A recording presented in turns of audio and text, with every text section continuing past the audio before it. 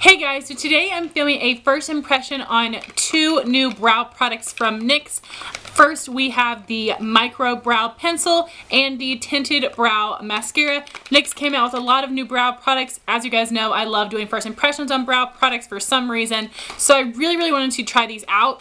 Last summer, I filmed a first impression on the NYX Eyebrow Gel, which I will link down below for you guys if you're interested in that. I will also link down below my current eyebrow routine because I will probably be transitioning these products into that. We'll see how they work. So I've heard from a ton of people that the NYX Micro Brow is a dupe for the Anastasia Brow Wiz, which is incredible because the Brow Wiz costs about 21 or $22 and the NYX Micro Brow only costs 10. The NYX Micro Brow comes in seven colors. We have blonde, taupe, auburn, chocolate, ash brown, brunette, and espresso.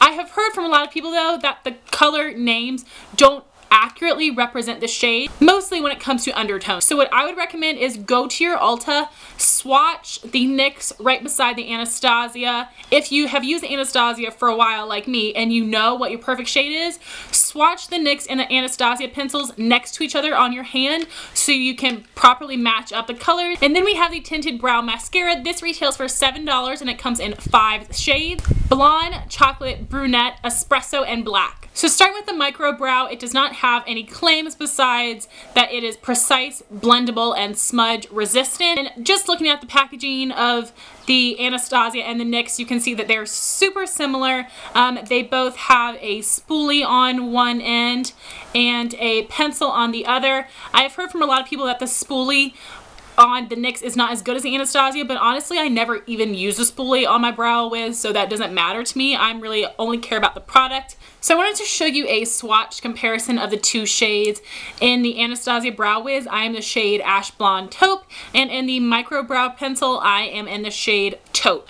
So I wanted to show you a side-by-side -side swatch comparison of the brow pencils. The top one is the Anastasia Brow Wiz in Ash Blonde Taupe, and the bottom is the NYX Micro Brow in Taupe.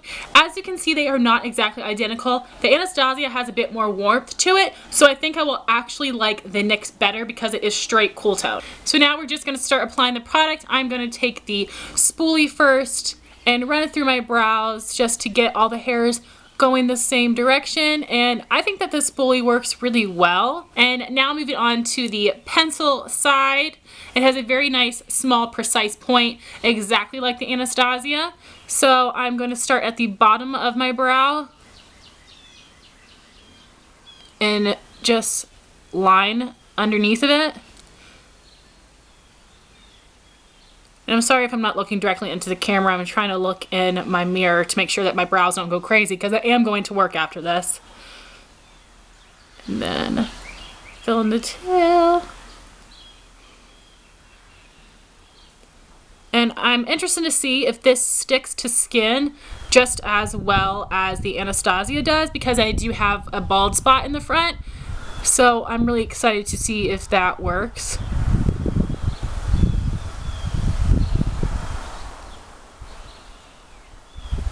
And yes, it drew onto my skin perfectly, which I'm so excited about that. And it has drawn on really well to brow hairs. So now I'm just going to lightly fill in the rest of the brow. So that is it for the pencil. I really love the way that it went onto my skin. It drew onto the skin and onto the hairs perfectly and it gave me the most precise shape ever. So I'm really impressed with the pencil so far. And now I'm going to go in with the tinted brow mascara. My shade is in the shade blonde. And I do not have another product to compare this to. Um, I'm hoping that it does give me some color while also give me some hold. So this is what it looks like. It's a really nice, small, precise spoolie, which I love for getting in the brows. I don't want something as big as a mascara wand. So we will just run through my hairs. And that is the finished brow. I'm actually really happy with how the combo looks, even though I didn't use any powder. And I really like the color of both of the products. It seems to work really well for the color of my brows.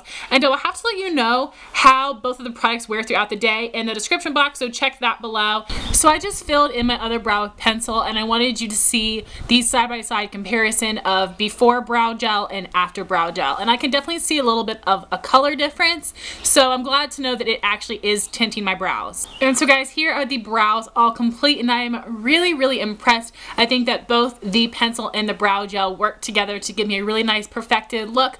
Like I said, I will let you know how the products work in combo with my brow powder, and I am just really, really impressed with the pencil. Like I said, it retails for $10. The Anastasia is around 21 and you were getting the exact same amount of product for less than half the price. So I most likely will not be repurchasing the Anastasia Brow Wiz anytime soon, maybe not ever again, because I'm really impressed with this NYX Micro Brow Pencil. The NYX pencil had the same precise tiny point to really help precisely apply my brows. So I really, really love that because like I said, I am like missing a front in my brows. I like to square them off. I have a lot of tail to fill in. So I'm just really, really impressed with the pencil. It is everything that I had heard it was. So I'm happy about that.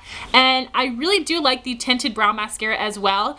And I didn't notice any crazy difference, but I've also never tried a tinted brow mascara before. So I don't have anything to compare it to, but I think the color works perfectly for my brow. And again, check the description box because I will let you know how both of these brow products hold up throughout the day. Thank you guys so much for watching. Please rate, comment, and subscribe, and I'll talk to you soon. Bye, guys.